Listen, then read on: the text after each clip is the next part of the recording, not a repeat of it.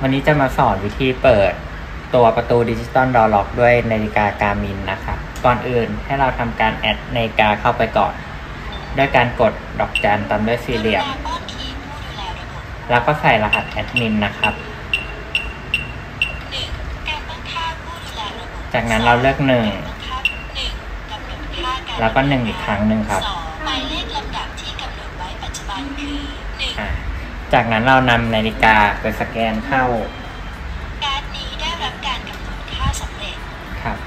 หมายลขพอเราแอดเรียบร้อยนะครับ ให้กดดอกจันกลับสู่หน้าเมนูหลักหนึ่งหนึ่งออกจากเมนูแล้ว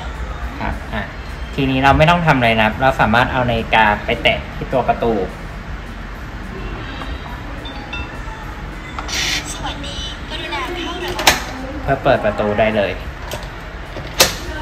อีกครั้งนะครับ อันนี้เปิดไม่ได้ เรานำนกาสแกน